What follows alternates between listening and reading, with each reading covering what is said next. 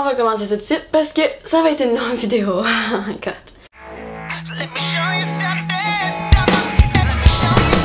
Salut tout le monde, j'espère que ça va bien. Aujourd'hui, on se retrouve dans une nouvelle vidéo où est-ce que je vous fais une review sur les soins Oshka, donc Dr Oshka en fait. Aujourd'hui, je vais tout vous présenter les produits, peut-être pas tous là parce qu'il y en a vraiment beaucoup. Je peux pas toutes vous parler, je vais j'en ai essayé vraiment beaucoup. En deux ans de cosmétiques naturels, je suis arrivée à en essayer assez pour pouvoir vous en parler aujourd'hui. Je vais voir avec vous pas mal de produits, pas tout, puis pas le maquillage aussi. J'ai déjà parlé du mascara sur ma chaîne, fait peut-être que vous l'avez déjà vu passer. Je l'aime beaucoup. Non, aujourd'hui, ça va être vraiment les soins en général, visage et corps. Il y en a du stock. J'espère que vous avez le temps parce que cette vidéo va être longue. Et sinon, avant d'embarquer dans les produits, j'aimerais ça faire euh, une espèce d'introduction. En fait, Dr. Rochka, c'est une compagnie Allemagne. Fait c'est euh, un Allemand, Dr. Rochka. Toute faite en conscience, cette compagnie-là. Vont vraiment avec la nature. Ils font attention à la planète, ils font attention aux plantes, ils prennent des plantes soigneusement. Vont vraiment avec l'énergie de la plante aussi. Vraiment particulier comme compagnie, très très intéressante. Fait que c'est pourquoi que je l'aime puis que j'ai envie de vous en parler aujourd'hui. Si vous voulez savoir tout sur les produits, c'est parti. Si on commence avec les nettoyants, on, je vais faire des espèces de catégories pour le visage. Le premier produit que je vais vous parler, c'est les nettoyants de Dr. Rochka. C'est une base d'huile, fait des bonnes huiles pour la peau, super apaisante. Moi, je l'ai utilisé, ça fait un bout de temps de ça. Et avec ma peau qui est plus euh, tendance grasse acné, ça faisait en masse la job. Honnêtement, j'ai jamais eu de problème avec ce nettoyant-là. Puis il démaquille super bien. Conseil un peu plus pour euh, les gens qui ont la peau sèche normale. Il y a un autre nettoyant pour les peaux plus grasses. Ce nettoyant-là, ce que j'aime, c'est qu'on fait démaquiller et nettoyer en même temps. Fait que je trouvais ça très pratique. Comme vous pouvez voir, en fait, ça a vraiment une texture hyper soyeuse, hyper fondante. Ça sent bon aussi. Les, produits de Dr. Oshka en général sentent super bon, très naturel, aucun euh, synthétique là-dedans. Je trouve euh, super bien en général ce nettoyant-là. Je vous le conseille euh, si vous en cherchez un, les nettoyants. Et un petit peu dispendieux, je trouve, pour un nettoyant. Ça, j'ai de la misère avec les nettoyants qui sont très chers, mais il est le fun. Il est quand même assez le fun. Le prochain nettoyant que je vais vous parler, c'est la crème nettoyante de Shka. Honnêtement, je pense que c'est le produit le plus spécial de la gamme, le plus intriguant, je trouve, parce que ce produit-là s'applique d'une façon super spéciale. Comme vous pouvez voir, c'est une espèce de crème huileuse, mais avec comme des morceaux. Puis ça sent assez spécial aussi. Je pense pas que c'est le produit que je trouve qui sent le meilleur en fait, mais ça sent pas mauvais non plus. Comme vous pouvez voir, c'est extrêmement éclaircissant aussi. C'est fou, ils disent vraiment que c'est une crème illuminatrice en fait. Quand vous nettoyez votre visage avec ça, ça éclaircit, ça l'apaise des rougeurs. Par contre, on n'est pas censé euh, se laver le visage de, comme je disais tantôt, la façon qu'on le fait. C'est vraiment une application comme ça qu'on devrait faire avec ce nettoyant là. Je sais pas, je trouve ça assez spécial parce qu'on serait pas censé le frotter. Vous pouvez le frotter, là, on s'entend là, sais vous faites bien ce que vous voulez, mais technique en soi avec celui-là, c'est vraiment de tapoter comme ça, puis c'est supposé régulariser les peaux grasses aussi, ne pas être agressant aussi pour elle parce que quand on stimule trop les peaux grasses, ça va donner beaucoup de sébum aussi. Ce nettoyant là est bon pour ça. Je le trouve euh, super intéressant ce nettoyant là. Je trouve qu'il est super le fait qu'il illumine comme ça comme vous avez vu. Euh, moi je capote sur les espèces de trucs qui illuminent. C'est un super de bon nettoyant. Le prochain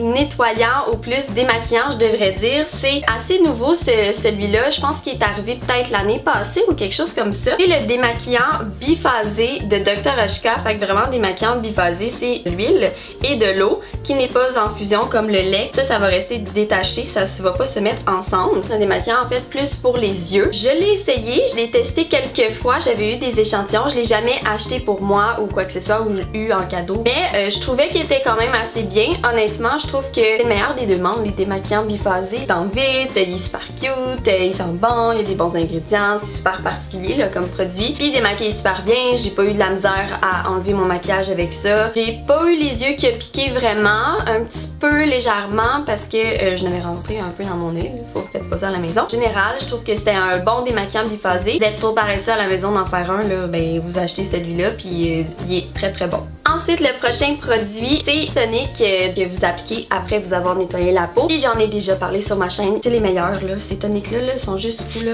Voyez-vous le nuage? Ça sent super bon. Il y a des extraits de plantes là-dedans. C'est que de l'eau des extraits de plantes. Ça fait du bien, c'est rafraîchissant, c'est astringent. Ils mettent beaucoup d'amamélis aussi dedans. Je capote sur ce produit-là. C'est dans mes produits favoris de Hoshka. Vraiment que ce soit lui ou le clarifiant, je les aime vraiment les deux. Dans la prochaine partie, on va parler de crème visage. Puis, il y en a vraiment beaucoup. C'est parti commencer, on tardera pas. On va commencer par celle-là. Cette petite crème-ci, la crème fluide qu'on appelle revitalisante. Elle a vraiment une texture spéciale. Comme vous pouvez voir, c'est très très fluide, comme que son nom l'indique. Ça pénètre hyper bien dans la peau. C'est vraiment une base d'huile, cette crème-là crème avec un peu d'eau. Il n'y a pas beaucoup de cire à l'intérieur, fait que ça je trouve ça intéressant parce que au fait que la texture est quand même assez liquide, il garde ça quand même assez frais sur le visage. Fait que je trouve que si vous cherchez une crème d'été, là, là on s'en va vers le printemps. Il fait de plus en plus chaud, c'est vraiment Ça va vraiment être une crème intéressante si vous en cherchez une. Que vous ayez, honnêtement, là, je pense que c'est pour tous les types de peau. Eux, ils disent que c'est un peu plus pour les peaux sèches, normales. Mais moi, étant une peau grasse, je l'ai pris l'été passé, puis j'ai eu pas eu de problème avec ça. Je trouve que ça fait vraiment avec tous les types de peau. Elle est vraiment super confortable, elle sent bon, elle est légère. C'est pour ça qu'elle est fun, c'est qu'elle est vraiment légère là. Fait que si vous, vous aimez pas ça sentir quelque chose sur votre visage, vous aimeriez vraiment cette crème-là. Et parmi euh, mes préférés dans les crèmes, je dirais de Hoshka. Ensuite, la prochaine crème, je vais la combiner avec une autre parce qu'ils se ressemblent beaucoup en fait. Vous avez la crème à la rose de Hoshka. Il y a la légère et la normale. Puis ces crèmes-là, c'est vraiment définitivement pour les gens qui tripent sur la rose. Là, vous allez vraiment être servi parce que ça sent la rose. Ça sent bon pour ceux qui aiment la rose. Mais ça sent bon, ça sent pas juste ça, puis ça sent pas fort non plus. Donc je trouve ça quand même agréable. Crème légère, comme vous pouvez voir, c'est quand même assez hydratant. Fait que c'est plus pour les peaux sèches, les peaux plus normales, les peaux sensibilisées aussi, les coupes roses, des choses comme ça. On l'aime beaucoup euh, l'hiver. Pour une peau normale, l'hiver, la crème légère à la rose est super appréciée. Puis sinon l'autre, la crème normale à la rose, donc pas la légère, la normale, elle est faite vraiment pour les peaux sèches. Genre quelqu'un qui a aucun gras sous le visage parce que sinon euh, ça marche pas.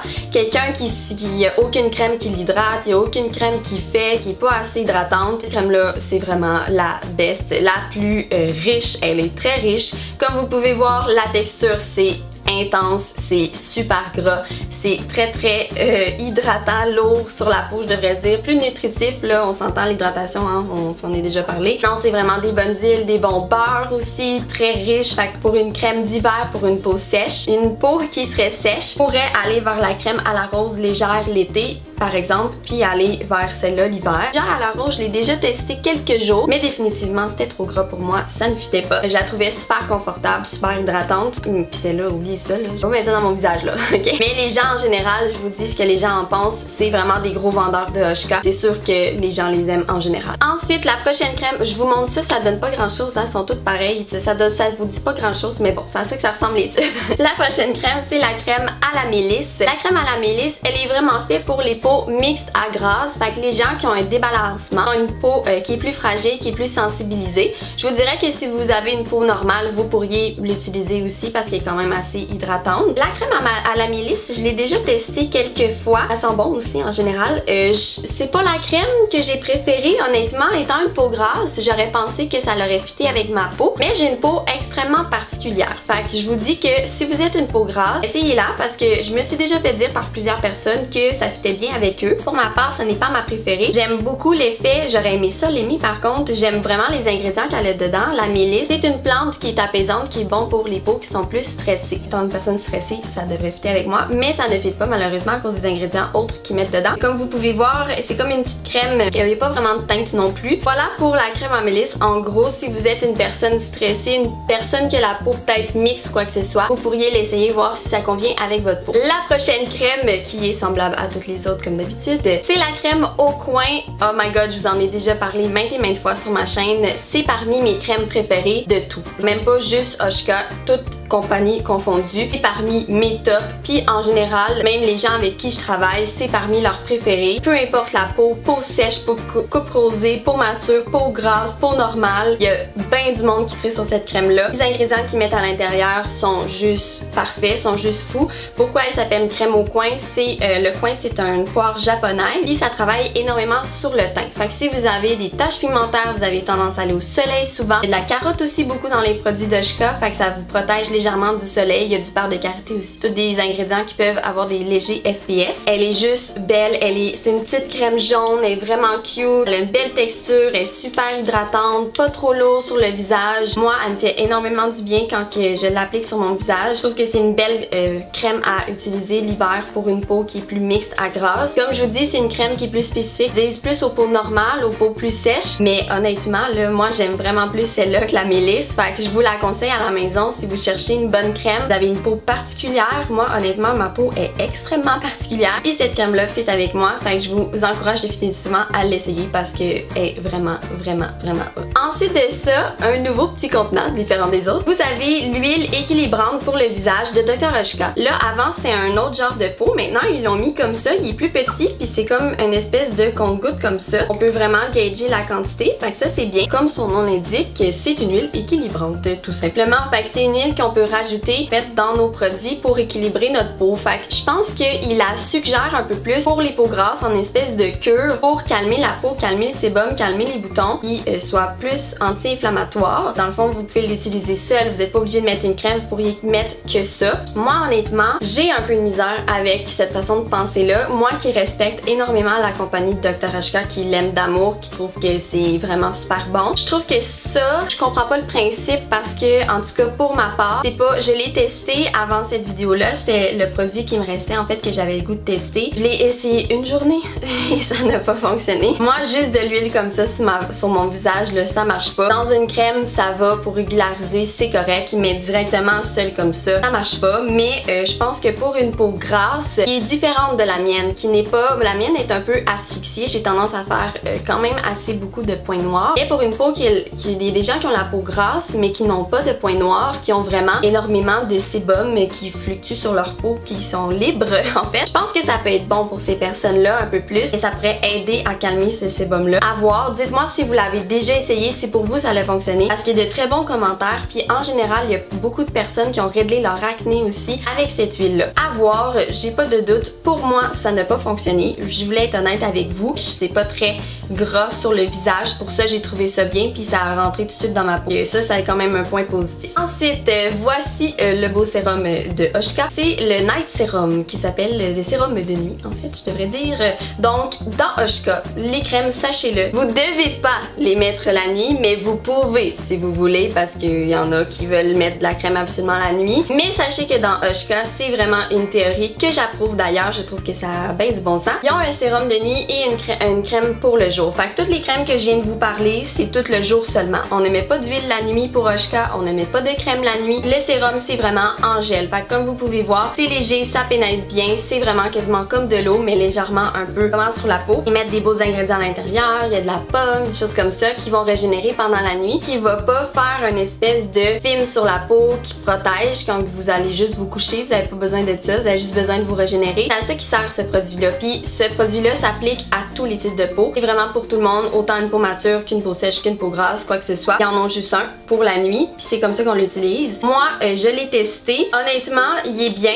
J'aimerais euh, aimer ce produit-là. Encore une fois, il y a un ingrédient dedans que je ne peux pas utiliser. C'est plate pour moi, mais bon. Il est très apprécié, très très bon. Euh, je le suggère honnêtement pour tout type de peau. Pas de problème comme que j'ai là dans le fond. Si vous savez pas de quoi je parle, c'est de la dermatite séborréique là. Si jamais peut-être que vous êtes perdu en ce moment. Mais sinon, je trouve que c'est un super de bon produit pour tout type de peau. Je trouve ça vraiment parfait. Ensuite, on arrive à ces deux produits-ci que je vais combiner parce que my god que ça va être long cette vidéo-là. La crème teintée et l'émulsion teintée. Donc, si vous comprenez bien, c'est une crème de jour avec une petite teinte. Il y a bien du monde qui aime ça, des choses pratiques comme ça. Elle est bien, bien, bien appréciée. Je vous dirais qu'elle serait plus, honnêtement, pas pour les peaux grasses, donc pas pour moi. Je l'ai jamais testé, mais je l'ai déjà appliqué en maquillant quelqu'un. Ça fait vraiment un beau fini pour une peau mature, pour une peau sèche, une peau normale à la limite qui a pas tendance à faire des boutons. Comme vous pouvez voir, ça a une teinte qui est quand même assez foncée, mais ce qui est intéressant avec ça, c'est que ça se fond dans la peau de la personne. Ça l'amène une petite teinte très légère. Honnêtement, moi étant quand même assez pâle, puis une personne étant plus foncée, des fois ça fait autant. Fait à voir avec votre peau parce que juste une couleur, là, c'est vraiment euh, cette couleur-là. C'est vraiment un produit qui est le fun parce qu'il n'y a pas beaucoup de compagnies dans le naturel qui font ça. Et sinon, vous avez ce produit-ci. Donc, si vous voulez pas avoir euh, tout le temps une crème teintée, en fait, vous pourriez prendre la crème à la rose, par exemple, puis acheter cette euh, truc teintée-là. Vous pourriez rajouter quelques gouttes de ça, moduler votre couleur, en fait, puis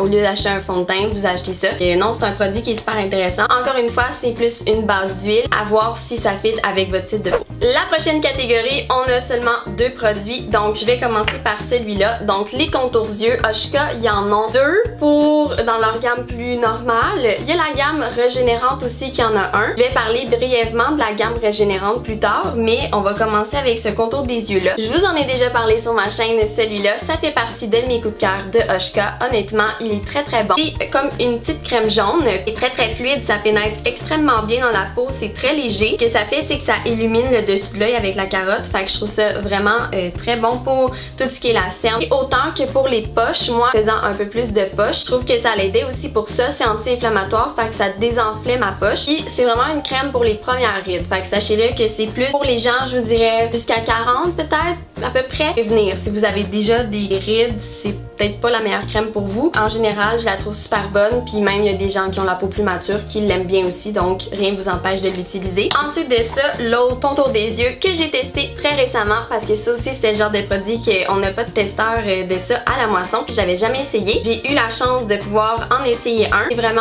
un petit bon comme ça. C'est une base de cire, c'est une base euh, d'huile, fait que c'est vraiment euh, juste des huiles en fait. C'est vraiment spécial, il m'intriguait vraiment beaucoup ce produit-là. Vous mettez votre doigt puis vous faites fondre l'huile dans le fond puis vous appliquez ça en dessous de vos yeux. Et je me disais, moi c'est vraiment spécial parce que autant que ma peau est grasse puis qu'elle gère pas bien la situation avec les produits en général, que mon contour des yeux, est genre bring it, donne-moi-en de l'huile, ça me dérange pas moi, moi j'en veux puis j'aime ça. Honnêtement, je l'aime beaucoup, j'ai vraiment été surprise puis c'est lui que j'utilise en ce moment à chaque jour puis euh, je trouve vraiment que ça m'aide puis que ça fait un bon contour des yeux. Ça fait quand même assez riche, j'étais pas sûre pour euh, la tenue du maquillage si ça allait bien fitter. Honnêtement, pas de problème pour ça. Puis c'est vraiment un bon contour des yeux aussi que je voyais euh, qui sort, euh, qui est très populaire d'ailleurs. Aussi qui est très bon pour les gens qui ont les euh, contours des yeux très très très sensibles. Il y a énormément de personnes qui font des réactions autour des yeux à cause du mascara, à cause de d'autres produits. Il y en a qui jurent que par ce produit-là. Maintenant, je comprends pourquoi. Moi aussi, je l'aime beaucoup. Je pense peut-être que maintenant, c'est rendu mon préféré, contour des yeux. Ensuite, on arrive à l'étape des masques, donc les soins un peu plus en traitement. Fait aujourd'hui, je n'ai juste un avec moi parce que là, vous comprenez que ça se ressemble tout là. Fait que vous avez, il y a quatre masques de ce genre-là qui sont plus en crème. Puis il y a un masque que je vais mettre juste ici, qui est comme une poudre qui est plus pour les peaux grasses. Le masque revitalisant, celui-là, c'est vraiment pour tout type de peau. C'est pour l'hydratation de la peau. Moi, j'ai déjà essayé, je l'adore. Ils sont super bons, les masques de Hoshka, là, honnêtement. Par contre, avec celui-là, je sais que à chaque fois que je l'utilisais, après le lendemain, je me réveille avec des petits boutons blancs, là. Fait que c'est peut-être un petit peu trop riche pour ma peau. Pourquoi que le genre de produit euh, avec la poudre de Hoshka, c'est un peu plus fait pour les peaux grasses? Pourquoi qu'il qu l'a, puis qu'il est fait pour régulariser aussi. Donc, on va aller avec celui-là. Fait que celui-là, j'en ai déjà parlé sur ma chaîne. J'ai déjà eu des échantillons, en fait. J'ai jamais eu au complet. Fait que j'ai jamais, jamais testé vraiment longtemps. Par contre, je sais l'effet qu'il fait, puis tout ça. Et ça se prête bien, ça se fait bien. Euh, vous mélangez avec de l'eau, puis c'est des plantes qui sont euh, qui vont régulariser le sébum, en fait. Fait que moi, ce genre de masque-là, j'ai pas de problème avec ça. J'aime bien ça. Puis il est quand même assez doux pour le visage. Fait que oui, je l'ai bien aimé. Sinon, euh, l'autre masque comme ça, dans ce format-là, qui est une crème. Le masque apaisant que j'ai déjà essayé, qui est faite pour euh, les peaux qui sont plus sensibles, réactives, vraiment qui font des rougeurs, tout ça. Puis c'est le genre de masque que j'aime vraiment euh, avoir. Il y en a pas beaucoup aussi dans le naturel, des masques apaisants, puis c'est super bon pour les gens qui font des rougeurs. Ce masque-là, j'ai trouvé vraiment super bon, il était apaisant, euh, j'ai aimé. Je pense que je l'aime un petit peu plus que le revitalisant. Je trouvais que ma peau était hyper soyeuse, puis tout ça après. Par contre, encore une fois, c'est le genre de masque qui me fait un petit peu des boutons par exemple, parce que c'est quand même assez riche. Vous le gardez pas toute la nuit, parce qu'encore une fois, Oshka ne veut pas. Les deux autres masques, vous avez le masque raffermissant et le masque nourrissant. raffermissant, comme son nom l'indique, c'est fait pour les peaux plus matures, fait qu'il est un peu plus dispendieux aussi, avec d'autres actifs à l'intérieur pour que ça donne un effet liftant puis quoi que ce soit. Je crois qu'il est très apprécié en général, comme étant ce n'est pas mon âge, puis euh, voilà. Après avoir utilisé le revitalisant puis l'apaisant, je me suis dit bon, ok, c'est correct, là, j'essaierai pas les deux autres. Puis en plus, ils me conviennent moins bien. Et sinon, le masque nourrissant, c'est vraiment pour les peaux sèches parce que c'est hyper, hyper crémeux, hyper gras, très très nourrissant. Fait que si vous avez des plaques sèches, vous, êtes à bout de votre peau en ce moment, c'est le genre de masque qui peut vous faire du bien. Je sais que là on est moins dans l'hiver, mais euh, c'est un très bon masque pour l'hiver. Ici, vous vous demandez la question, est-ce qu'il y a un exfoliant dans Dr. Rochka? Parce que là, je viens de vous parler des masques, mais non, non, non, il n'y a pas d'exfoliant dans Dr. Rochka. Ils en ont pas, ils en fait pas, puis ils en veulent, ils veulent pas que les gens s'exfolient en fait la peau parce qu'ils disent que c'est pas bon de faire ça, c'est leur façon de penser. Si vous l'allez avec Oshka au complet, ben sachez qu'il n'y a pas d'exfoliant. Donc la dernière partie, ça va être plus corps. Donc je vais aller tout de suite avec le déodorant de Dr. Oshka qui se présente comme ça. Puis euh, vous avez une espèce de bille, puis c'est vraiment comme une crème. C'est très léger, c'est frais sous la peau. Moi j'ai celui euh, de sauge et menthe que j'utilise dans le moment que j'ai testé très récemment. pour ma part, il fonctionne super bien. J'ai aucun problème, vraiment absolument rien. Même en étant en état de stress, que avec d'autres déodorants naturels, j'aurais eu un petit peu plus de problèmes peut-être. Avec ça, vraiment pas. C'est sûr que le principe de mettre ça puis que ce soit comme une espèce de crème puis que ce soit comme liquide là, je suis là puis il faut que je me fasse sécher. Ça c'est peut-être moins cool mais bon, on s'habitue. Je trouve que ça va vraiment bien. J'ai rien d'autre à dire. Il y en a un autre avec euh, l'odeur de rose sinon. Mais celui-là, j'ai testé, puis euh, je vous dis qu'honnêtement, il fonctionne super bien. Dans les euh, qui, pour moi, ça a bien fonctionné. Sinon, on a les crèmes corps de Dr. Oshka. Là, euh, je peux pas tout tester, là, on s'entend, c'est essoufflant. J'en ai déjà quand même testé beaucoup. En ce moment, j'ai la crème lait pour le corps citron et citronnelle de Dr. Oshka. Je trouvais, je trouvais vraiment intéressant parce qu'il ressemble vraiment à la texture de la petite crème ici, fluide. Vous pouvez voir, c'est vraiment le même genre de texture, assez léger sur la peau. La senteur, c'est bien. Euh, ça sent la citronnelle. Euh, donc, il faut aimer la citronnelle, je pense, mais sinon, ça sent citron aussi. Moi, je l'aime vraiment beaucoup. Je trouve que ma peau est extrêmement belle. Puis, euh, je trouve ça super le fun d'avoir une crème légère comme ça. C'est vraiment la seule crème que je connais qui est de même. non, je vous la suggère. Puis sinon, vous avez trois autres crèmes, peut-être quatre pour le corps. Il y a lavande, amande, rose. En général, c'est vraiment des crèmes qui sont extraordinaires. Les gens les adorent. Puis, il y en a qui jurent que par ces crèmes-là. Des bonnes crèmes, si vous en cherchez, sachez a ces trois odeurs-là. Puis, qui sont plus crémeux, sont plus épaisses. Puis sinon, je vais terminer avec avec ces trois produits-ci que j'ai déjà testés. Puis les autres, ben sachez que comme la gamme régénérante, c'est la gamme haut de gamme, c'est la gamme plus dispendieuse, plus pour les peaux matures de Oshka. Je la recommande souvent. Moi, j'ai déjà testé le contour des yeux qui est très épais, très riche. Fait que plus que lui, disons, mais en crème, donc pas en bombe comme ça. J'ai bien aimé, euh, il faisait vraiment bien la job, honnêtement, c'est un très bon produit. La crème pour le corps que je sais que c'est raffermissant.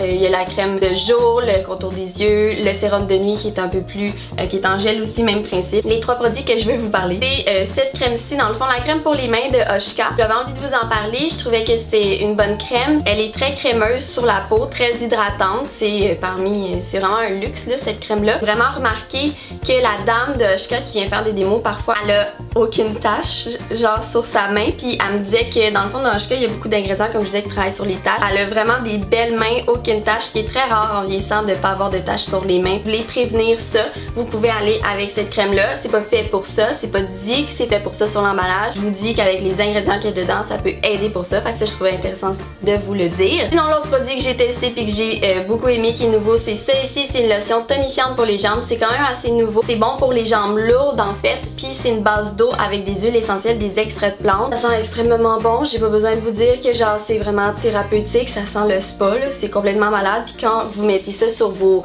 jambes, sur vos bras, c'est comme tellement léger, ça fait du bien. Ça dit que ça galbe aussi la peau, donc euh, moi je peux pas dire, là, je suis quand même assez jeune, mais que ça fait ça aussi. Fait que c'est vraiment un produit super intéressant, puis on devrait l'avoir éventuellement à la moisson si je me trompe pas. Sinon l'autre produit que j'ai testé aussi c'est la lotion tonifiante pour les cheveux. J'en ai parlé au début de ma chaîne, ça fait longtemps, j'avais eu ce produit là gratuit dans un concours. J'ai vraiment tripé sur cette lotion là, c'est fou l'effet que ça faisait, c'était au Nîmes. J'en mettais sur ma brosse le fond avant de faire mon démalant maison, c'est ça que j'utilisais. Puis j'aimais vraiment ça, je trouvais que ça faisait des vraiment beaux cheveux, c'est hyper thérapeutique. Pour des gens qui ont de la dermatite, qui ont du psoriasis, de l'eczéma, c'est vraiment un produit intéressant parce que c'est pas huileux aussi. On n'a pas besoin d'huile quand on a un surplus de gras dans la tête, on ne fait pas ça. Mais avec ça, je trouvais ça super intéressant. Et j'ai oublié le produit aussi. Ils ont des cures aussi, Oshka. J'en ai testé une. Je vous mets une photo juste ici. Moi, c'est la cure de 10 jours apaisante que j'avais testé. Je vous donne ça rapidement. En fait, je vous dirais, euh, je vous conseille vraiment les grosses boîtes. Si vous voulez l'utiliser, Oshka, ils disent qu'il y a une espèce de truc aux 28 jours euh, que notre peau se régénère en fait puis qu'on devrait à chaque saison puis en rapport avec l'âge en tout cas c'est quand même assez complexe vous irez lire là-dessus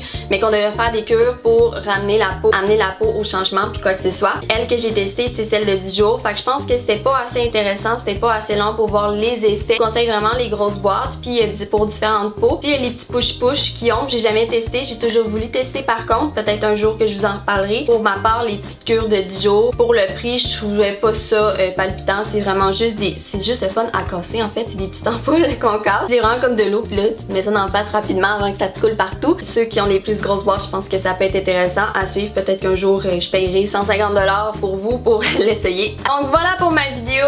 Si vous êtes rendu jusqu'ici, faites des euh, petits émoticônes dans les commentaires parce que c'est une vidéo qui était très très remplie. Puis j'ai même pas parlé de tout là. Il y a d'autres produits Yoshka puis j'ai pas tout testé. Puis j'ai même pas parlé du maquillage. Imaginez-vous. Voilà pour ma vidéo avec tous les produits d'Oshka. Fait que euh, brièvement ceux que j'ai préférés, vous avez le baume, la crème euh, au coin. J'aime aussi, beaucoup aussi la lotion tonique, la lotion pour les cheveux, la lotion pour le corps. Fait que tout ça, fait que c'est vraiment très intéressant comme compagnie. Fait que voilà pourquoi j'avais envie de vous en parler aujourd'hui. Moi, je vous souhaite une super belle journée. On se dans une prochaine vidéo. Bye bye!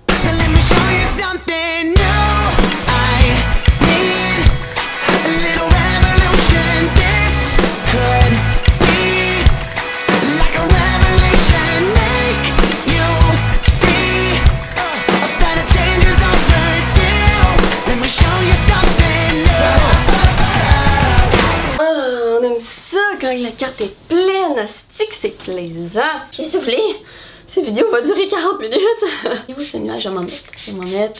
Je vais m'en mettre.